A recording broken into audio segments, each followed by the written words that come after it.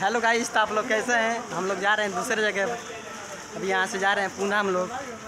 अभी यहाँ से ऑटो में बैठेंगे उसके बाद से जाएँगे।